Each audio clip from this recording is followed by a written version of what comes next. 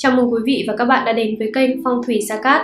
Thay mặt ban biên tập của chương trình, xin kính chúc quý vị gặp vạn sự lành, tấn tài tấn lộc, vạn sự hành thông. Quý vị thân mến, trong cuộc đua của 12 con giáp, Châu là con vật đại Việt Quý vị thân mến, trong cuộc đua của 12 con giáp, Châu là con vật đạt vị trí số 2, đại diện cho sức mạnh về cả thể chất lẫn tinh thần. Từ vi tháng 8 âm lịch của 12 con giáp có những luận cứ cho thấy, tuổi Ất Sửu 1985 có vận trình tốt đẹp, công việc hanh thông thuận lợi, do được tam hợp cục với tháng nên những gia chủ tuổi Sửu được quý nhân tương trợ giúp đỡ, khiến cho mọi việc đều diễn ra thuận lợi. Tiền bạc ùn ùn chảy vào chật két để biết được vận trình tuổi Sửu trong tháng 8 âm lịch gặp được những may mắn gì, thành tựu trong tháng 8 rực rỡ ra sao và còn có những điểm gì cần lưu ý. Xin mời quý vị cùng theo dõi.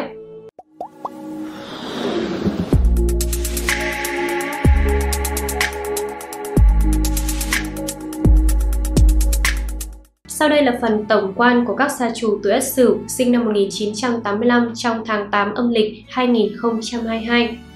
Người tuổi Ất Sửu sinh năm 1985 có mệnh hải trung kim, tính cách sôi nổi nhiệt tình. Cuộc sống của họ cũng luôn bận rộn với rất nhiều màu sắc. Họ có nhân duyên vô cùng tốt, được rất nhiều người quý mến và giúp đỡ tận tình.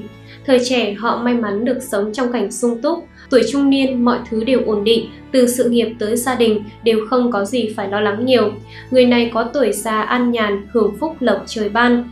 Trong vận mệnh, người tuổi Ất Sửu có thể một đôi lần gặp phải tai nạn bất ngờ ngoài ý muốn, song thương tật đều không quá nghiêm trọng. Khi tiếp xúc với người khác giới nên đặc biệt cẩn trọng, nam giới nên tránh kết thân với phụ nữ đã có gia đình, nữ giới cũng nên bầu bạn với người đàn ông có vợ để không vướng phải nguy cơ trở thành người thứ ba. Trong tháng này, vận khí của người tuổi Ất Sửu không tồi chút nào. Những người làm công việc văn phòng, cơ hội thăng chức trong năm khá nhiều, lương thưởng hậu hĩnh, kéo theo thu nhập được cải thiện nhanh chóng. Ở phương diện tình cảm, nữ mệnh cần học cách tiết chế tính nóng của mình. Giai đoạn này, cảm xúc của bạn rất dễ dao động. Tần suất cay vã với các thành viên trong gia đình ngày càng nhiều, nếu không chú ý tiết chế sẽ khiến không khí gia đình lúc nào cũng nặng nề, hôn nhân rất dễ xảy ra dạn nứt. Cảm xúc bất ổn còn dễ dẫn đến một vài căn bệnh tâm lý, ảnh hưởng đến sức khỏe thể chất và tinh thần mà bạn không được chủ quan. Xét về thiên can, ất âm mộc gặp kỷ âm thổ nên được gọi là thất sát thiên quan. Trong tháng này, các gia chủ tuổi ất sửu nên cẩn trọng, chú ý nhiều hơn trong công việc để tránh gặp phải thị phi không cần thiết. Khi gặp chuyện nên bình tĩnh đưa ra phương án tối ưu để giải quyết vấn đề khiến mọi chuyện tốt đẹp và yên bình. Thứ nhất về sự nghiệp quan vận, tuổi Sửu bắn tam hợp với dậu nên trong tháng Kỷ dậu này, những người tuổi Ất Sửu sinh năm 1985 hoàn toàn có thể mong đợi sự phát triển khởi sắc của sự nghiệp. Những người làm công chức, việc liên quan đến nhà nước nhìn chung đều có tiến triển tốt đẹp, không gặp phải trở ngại nào quá lớn. Nhưng đường thăng tiến của bạn vẫn phải đối mặt với không ít vất vả, cực nhọc, do đó chớ nên ngủ quên trên chiến thắng mà sinh ra lòng chủ quan quá sớm. Ngoài làm ăn, kinh doanh có tiến triển tích cực, tuy nhiên phải rất vất vả, đủ nhiều mồ hôi công sức, gia chủ mới có thể hoàn thành mục tiêu ở mức khá. Tháng này, sự nghiệp của gia chủ tương đối ổn định với những người làm công ăn lương. Các nhà lãnh đạo sẽ đánh giá cao những nỗ lực của bạn. Vì vậy năm nay, lương thưởng sẽ tăng lên đều đặn. Sự nghiệp của những người tuổi này có những bước tiến rõ ràng trong khoảng thời gian đầu tháng. Tuy nhiên, bạn phải tham gia vào nhiều buổi tiệc tùng, tụ tập, vì thế cần phải giữ đầu óc tỉnh táo, không để ảnh hưởng tới chất lượng công việc. Năm nhâm dần 2022, Thái Tuế là hạng ngạc đại tướng quân, dưới chân của đại tướng quân có một con hổ. Để cho vận trình sức khỏe và gia đạo được hanh thông thuận lợi, thầy Gia Cát khuyên gia chủ hãy luôn mang theo bên mình một kim bài Thái Tuế để nghênh đón Thái Tuế, mang lại may mắn và bình an. Đặc biệt, kim bài thái tuế của phong thủy lộc tài được thầy Gia Cát trực tiếp khai quang, trì chú và xem ngày sử dụng cho gia chủ tuổi Ất Sửu để mang lại tác dụng phong thủy tốt nhất hiện nay. Vậy nên gia chủ hoàn toàn có thể yên tâm khi sử dụng kim bài thái tuế của thầy. Thứ hai, về mặt tài lộc và tiền bạc. Tháng này bạn có quý nhân giúp đỡ nên sẽ đạt được những thành quả nhất định trong công việc và tài chính cũng tăng lên đáng kể. Hầu hết bạn sẽ được thăng cấp lên một cấp độ mà bạn chưa bao giờ đạt được trước đây. Bán tam hợp mang đến những cơ hội làm ăn, đầu tư đáng mơ ước mà hiếm người có được. Chỉ cần bạn nắm bắt được cơ hội thì chuyện tiền bạc dùng rỉnh sẽ trở thành hiển nhiên. Có những thời điểm bạn hao tài tốn của khoản không nhỏ cũng bởi tiêu pha theo ý muốn mà không suy nghĩ về tương lai hoặc gặp rắc rối về tiền bạc vì người khác. Song nhờ tài năng và năng lực cá nhân được phát huy tốt, quý nhân phù trợ, gia chủ có thể dễ dàng chuyển đổi thành ưu thế, giúp mình đạt được một phần lợi nhuận nhất định từ công việc tay trái. Để tiếp tục cải thiện vận may trong tài lộc, thầy Gia Cát khuyên các gia chủ hãy luôn mang theo bên mình vòng tay tam hợp quý nhân tị dậu sửu, giúp hóa giải xung sát, chiêu mời quý nhân, quý thần tương trợ, dùng để hóa giải thị phi, tiểu nhân hãm hại. Khi những điều xấu không còn, điều tốt đẹp sẽ đến với bạn, từ đó tài lộc kéo đến ầm ầm, may mắn không gì bằng. Đặc biệt, vòng tam hợp quý nhân cũng được thầy Gia Cát trực tiếp khai quang, trì chú và xem ngày giờ sử dụng cho các gia chủ để vật phẩm mang lại công năng phong thủy tốt nhất.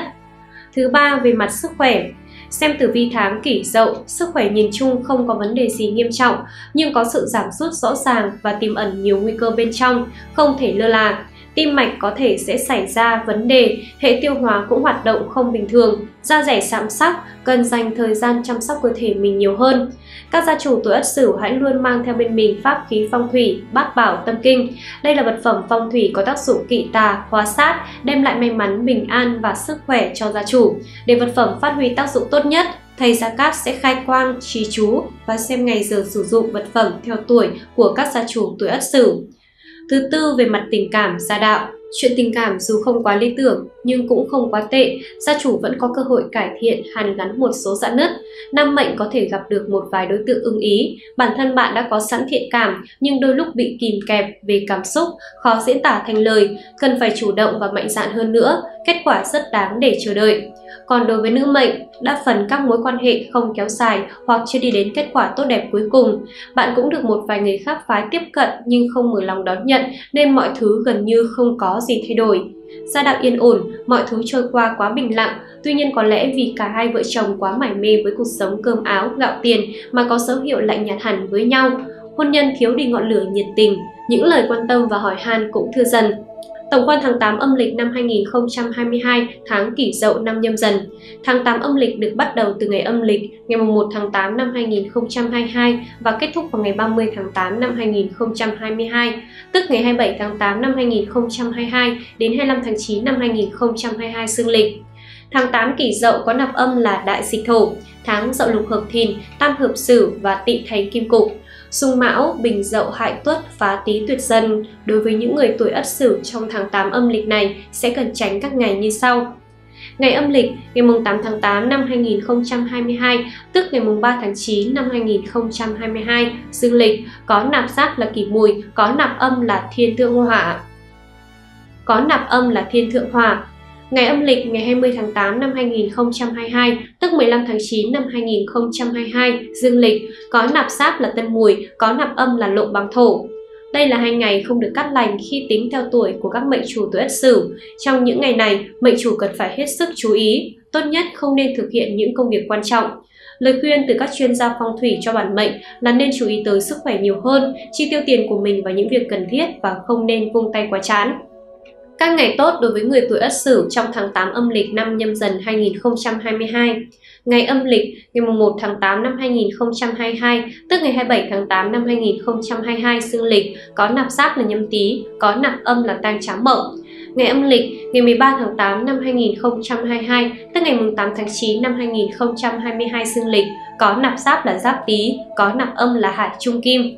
Ngày âm lịch ngày 25 tháng 8 năm 2022, tức ngày 20 tháng 9 năm 2022 dương lịch, có nạp giáp là bình tý, có nạp âm là sản hạ thủy. Đây là 3 ngày cắt lành trong tháng để các gia chủ tiến hành các công việc liên quan đến xuất hành hay tiến hành những công việc quan trọng sẽ dễ có kết quả cao hoặc những vấn đề nhỏ trong gia đình bạn tiến hành đều hết sức thuận lợi. Ngoài ra, việc chọn lựa ngày tốt cần phù hợp với tuổi gia chủ trong những công việc như tiến hành động thổ, ngày giờ mua xe mới, ngày giờ cưới hỏi.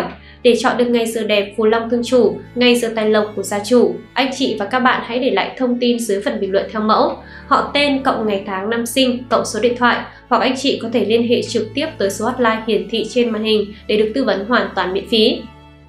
Thưa quý vị, vậy là chúng ta đã tìm hiểu xong về tử vi của tuổi Ất Sửu trong tháng 8 âm lịch.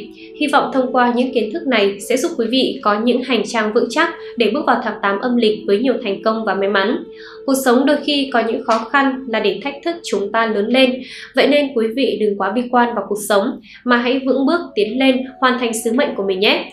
Rất cảm ơn quý vị và các bạn đã quan tâm theo dõi và đồng hành cùng chương trình trong suốt thời gian qua. Quý vị đừng quên đăng ký kênh là người đầu tiên nhận được những kiến thức bổ ích này. Còn bây giờ, xin chào và hẹn gặp lại quý vị trong những video tiếp theo.